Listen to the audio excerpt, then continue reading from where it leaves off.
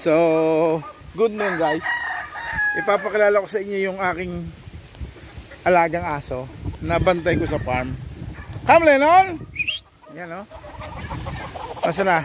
Ayun. La.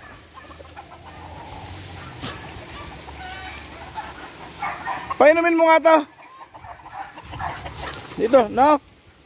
So, kita nyo yung BM ko. Belgian yan, Belgian. So, kahit isama ko yan doon sa isang farm ko, napaka naaalagaan kasi ito ng maayos dito sa farm. Hindi niya sinasaktan yung manok. Sanay din siya sa manok. So, kung saan ako pumunta, sama yan.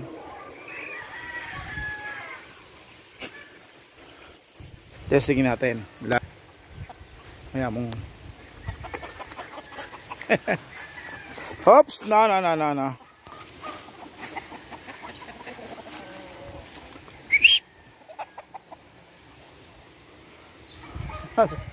Lagyan mo nga ng tubig tong paso. Yun na nga sa'yo. Halika. Lalan, dito. Inom muna dito lalan. Uh, lagyan mo. Ngayon lalan, oh.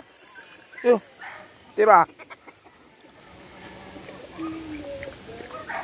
So yung sister nito, bunti, aya, tinapon mo naman. Yung kapatid dito, buntes. Baka next month, mga anak na. So nagbibreed din ako nito. Doon sa mga talagang nakakakilala sa akin, alam na nagbe-Belgian, nag-aaso din ako.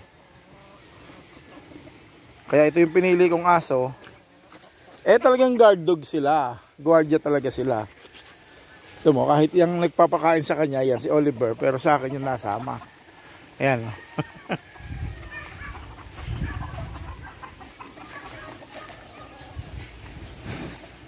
Pangalan nito si Lennon. Oh, Oliver, tawagin mo nga. uh, ako pa rin ang ano nito, ano, kahit ikaw nagpapatuka na. Pero si Mark nagpapakain yun dati eh. Paliguan ko rito yan. Gumaling na yung ano niya, yung mga rashes niya. Oh. Oo. Yung pinapaliguan ko din doon. Oo nga. Hindi, nagpapagawa na ako ng kulungan yan, dalawa. Sa maha, dadalhin natin ng isa na. Ito yung pinagdala mo doon. Kasi si Julia, pag nanganak, oh, tingnan mo natin doon. Oh, yun yun. Nasa na? Ayun oh. Hindi yan lalayo pag nakikita ko. Kahit sa karsada, nalabas. Nasama yan sa akin sa labas. Hoy! miss na miss ako eh.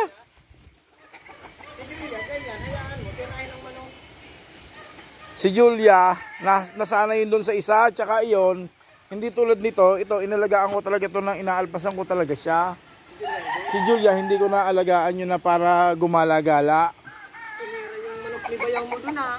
Naalisan nyo ng mga balahibo, lahat dito sa likod. Hindi, hindi naman niya kinakala, inaano lang niya, iniipit lang niya. Ilalandi niya. Sa aso, nandadali. Isa lang mo nga yung gate, baka may dumating na tao eh. Yung mga aso dyan sa ano, kahapon nung nandito si Lloyd, nilakad ko. Hanggang amoy lang sa kasahuli. Hmm. Lennon! Uy, dito! Liga! Lennon! Yun. Ah. Nakakalibang din naman. Uh. Kili! Hmm. Meron kang isang asong ganyan, bantay sa farm mo, ay malaking bagay. Diba?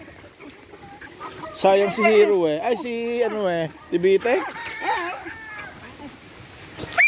Ang Belgian ko dito, tatlo. Si B, apat pang apat si Bitek. Hey! Nangina. Pag nadali ka nito, payat, kaladkad ka. Pero mabait na payat.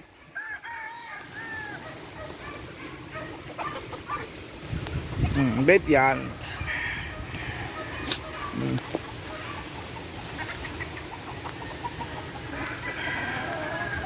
Mabunggo ka lang yan eh, di ang laki ng asong yan eh. Oh, oops, oops. Gusto pang umupak. Oh.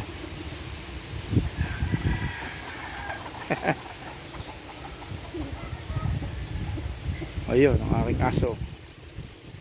Bukas sasama ko sa mahatan, hindi makapunta sa kabilang farm eh.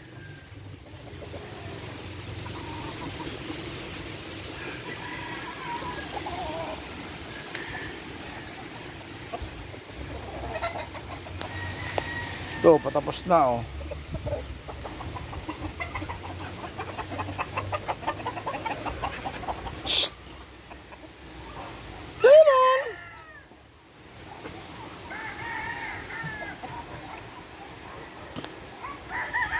Ganon! Hey!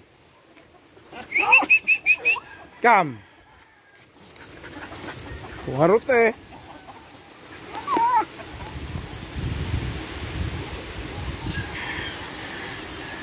So yun guys.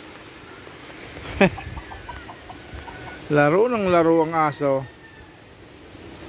Hmm, napakabait naman talaga.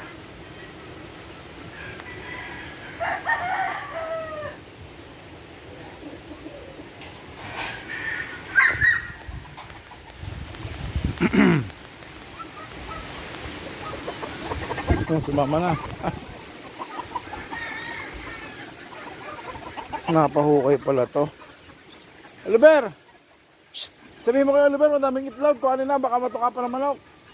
Sabihin mo. May itlog nga.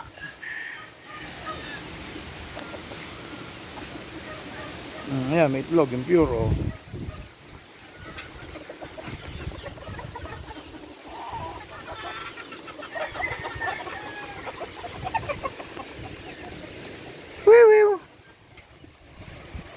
Ayun, umuula naman. Nako, ang ating mga alaga dito, nagsitakbuhan na. Oh, punong-puno ng manok. Ang mga alagay natin, oh, ayan oh, kabila.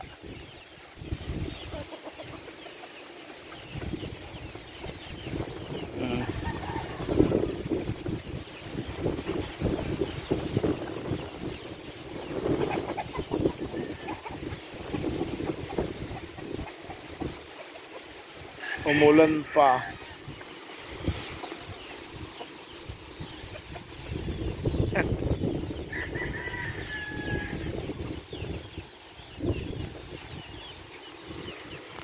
Sige na. Papaalam na ako sa inyo guys.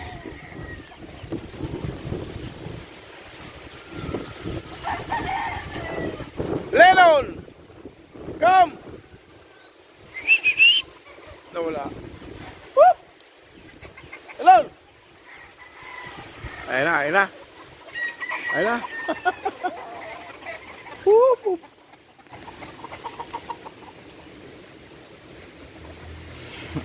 Ayun. Papaalam na ako sa inyo. Salamat po para sa Randy Hebron TV. Magandang hapon po sa inyo lahat. Bye-bye!